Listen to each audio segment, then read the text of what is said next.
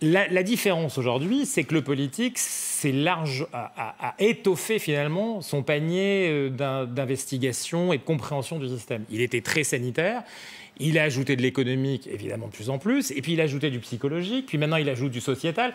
Donc, effectivement, dans les paramètres de la décision politique, encore une mm. fois, c'est plus varié, et on a un sentiment que quand on panache tout ça, on a une déclaration positive. Moi, je me félicite de la déclaration de Castex, qui arrête un petit peu cette espèce de management